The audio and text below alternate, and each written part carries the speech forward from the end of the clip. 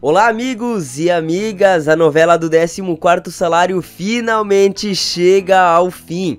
A presidente Bia Kicis fala ao vivo diretamente de Brasília sobre o projeto mais aguardado pelos aposentados e pensionistas do INSS com o projeto liberado pelas comissões da Câmara dos Deputados.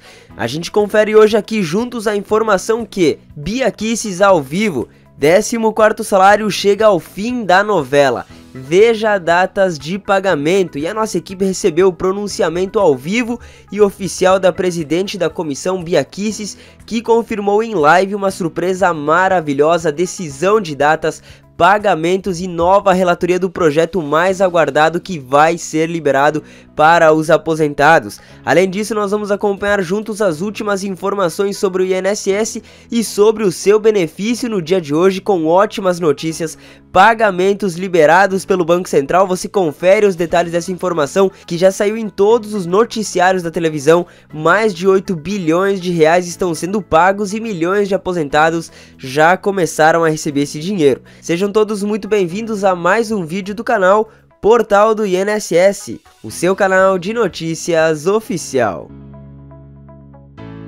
14 salário liberado, dinheiro chegando na conta de milhões de aposentados, é sobre isso que nós iremos falar na live de hoje. Vocês já acompanharam nas manchetes de abertura. A gente vai começar falando de 14 salário dos aposentados e logo na sequência vamos falar do dinheiro que está sendo liberado pelo Banco Central e como você faz para resgatar esses valores. O nosso editor vai passar a vinheta de abertura agora e na sequência a gente já inicia esse nosso boletim informativo com a informação do 14º salário quentinha para vocês aí diretamente de Brasília. Solta a vinheta, editor.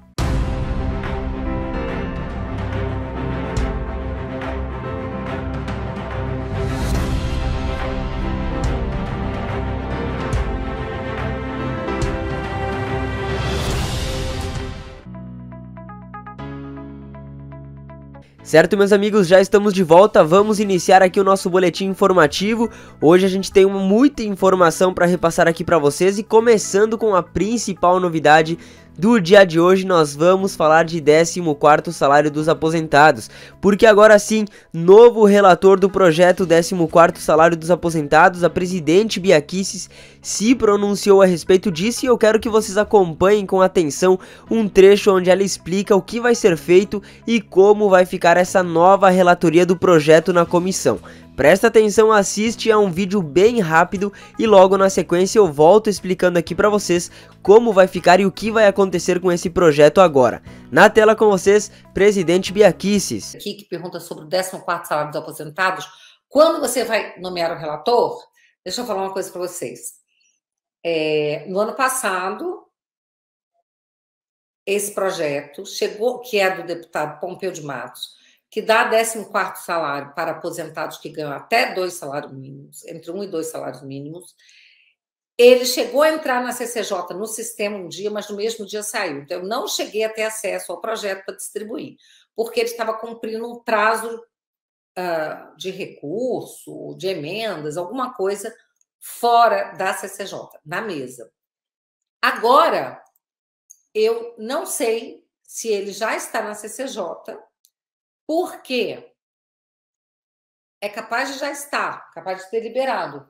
Só que eu não posso mais distribuir esse projeto. No dia, na próxima semana, a partir de amanhã, já nos próximos dias, irão se formar as novas comissões e será designado, serão designados, será designado o candidato do PSL que irá presidir a CCJ, então está tudo acertado para ser o deputado Major Vitor Hugo. Ele será eleito, ele terá que ser eleito, assim como eu fui. E a partir do momento que ele for eleito e os partidos né, já tiverem indicado os membros, porque agora não tem nenhum membro na CCJ, por isso que eu não posso distribuir. Eles tiraram todos os membros com é, desde o recesso. Então, tem que nomear os novos membros da CCJ e é o novo presidente que irá distribuir o relator desse projeto, ok? Bom, pessoal, como vocês acompanharam agora então em uma live ao vivo, a presidente da Comissão de Constituição e Justiça e Cidadania se pronunciou em respeito do 14º salário e falou que as comissões serão agora refeitas, ou seja, vai todo mundo trocar de cargo, vão ser renomeados e novos parlamentares vão passar a compor essa comissão. Até a própria presidente assumiu que vai sair do cargo para dar lugar a algum outro deputado federal assumir a presidência da comissão e como vocês mesmos acompanharam aí nesse trecho da live em que foi exposto para vocês, o próximo presidente que assumir a comissão já entra com o dever de colocar um novo relator no projeto do 14º salário. E o que acontece a partir disso então, pessoal, com um novo relator, né? O projeto pode passar por mudanças nos próximos dias, o novo relator pode e deve fazer mudanças no projeto. Então, aposentados, pensionistas, beneficiários do auxílio doença, auxílio acidente, auxílio reclusão poderão ter novos amigos, né, novos membros juntos com ele fazendo parte. Por isso que era muito importante aí o BPC Loas prestar atenção nesse vídeo, porque é um dos grupos que não terá direito ao 14º salário, porém com um novo relator pode ter agora pode vir a, a receber também essa parcela de 14º salário, tá? Ou algum desses grupos também pode ser retirados e passar a não ter mais direito de receber. Tudo isso fica nas mãos do novo relator. Felizmente a gente recebe novas informações sobre o 14º salário, né, pessoal? Sejam boas ou sejam ruins, é melhor do que a gente não saber de nada, ficar só na expectativa. Felizmente veio uma notícia boa, isso nos mostra que realmente nós estamos tendo andamento no projeto, que o projeto está caminhando, né, pessoal? Que e agora ficamos na expectativa ainda do novo relator que pode nomear mudanças importantes nos próximos dias.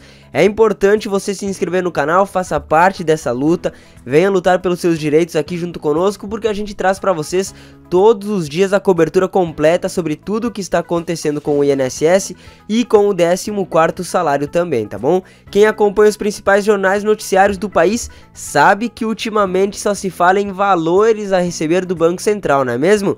E é isso que a gente vai conferir agora no assunto da vez, nós vamos falar de dinheiro entrando no bolso dos aposentados aposentados. Olha só, o Banco Central liberou desde a madrugada dessa segunda-feira do dia 14 a consulta ao novo site oficial do Sistema Valores a Receber, pelo qual qualquer cidadão brasileiro incluso no sistema bancário poderá identificar e resgatar o dinheiro esquecido no banco.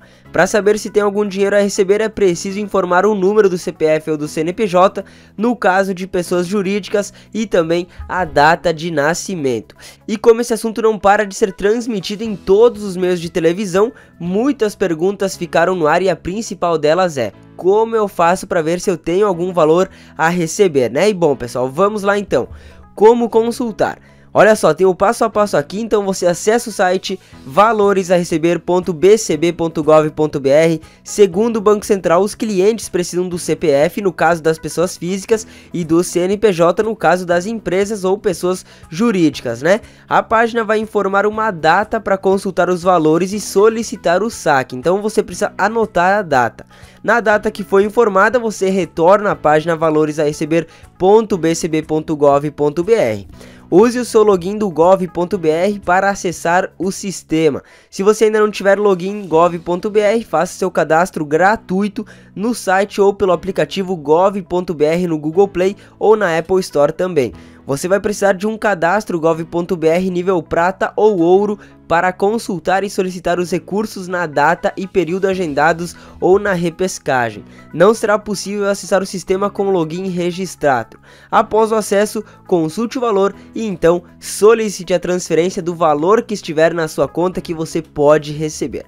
Atualmente, cerca de 28 milhões de pessoas físicas e jurídicas têm dinheiro para resgatar nessa primeira etapa de devoluções uh, de valores. O SVR deve devolver até 8 bilhões de reais para pessoas e empresas que encerraram contas correntes ou poupanças com saldo disponível desde o ano de 2001, pessoal. Olha só, então tem muita gente aí que vai receber, né? Com certeza eu tenho 90% de certeza que você também vai ter valores a receber. O valor também inclui tarifas e parcelas de operações de crédito cobradas indevidamente cotas de capital e rateio de sobras líquidas de cooperativas de crédito e recursos não procurados de grupos de consórcio que foram encerrados. Então, muita gente vai ser beneficiada, milhões de brasileiros e brasileiras felizmente vão poder receber uma boa quantia esquecida aí nos bancos e conseguir, né, pagar alguma conta, pagar alguma dívida. Então não perca tempo, siga o passo a passo que eu mostrei aqui para vocês e faça sua consulta aí para descobrir se você é um dos sortudos ou não que vai poder receber esse dinheiro, vai poder levar para casa, colocar aí no seu bolso, pagar alguma conta, tá certo? Mais notícias boas para vocês no vídeo de hoje, finalizando mais um boletim informativo sobre o seu benefício. Obrigado pela sua companhia. Eu espero que você tenha gostado das informações de hoje. Agradeço muito a sua presença e eu te espero aqui nesse mesmo canal para o próximo boletim INSS. Muito obrigado por ter assistido esse vídeo até aqui, um grande abraço no seu coração e até o próximo vídeo.